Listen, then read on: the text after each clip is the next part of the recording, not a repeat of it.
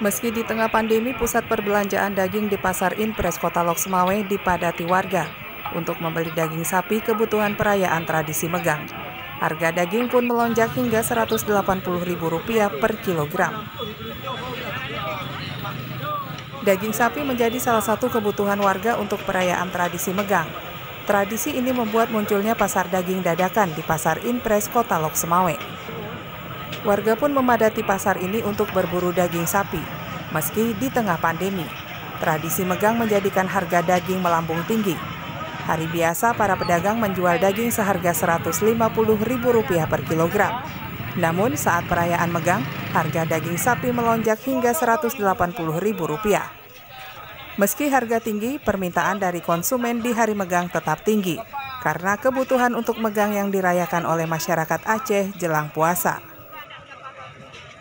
Kalau orang Aceh ini satu, satu tahun sekali tetap dia berapa dia beli 200 200 dia beli karena orang Aceh lain daripada yang lain. Kalau satu, satu tahun sekali tetap beli dia. Untuk memegang ya? Nah, kalau megang ini nggak ada juga.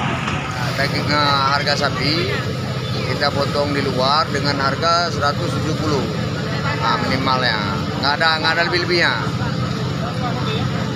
dulu ada yang kita potong 150 waktu sebelum mulai corona itulah sempitnya sekarang nggak lagi sebelum megang ada harga 16 ada 15 karena lumur itu lumur sapi-sapi luar Kenaikan harga ini terjadi setiap tahun saat perayaan megang.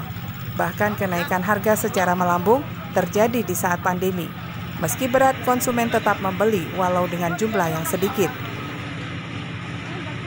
Beli berapa kilo? Uh, kilo. kilo.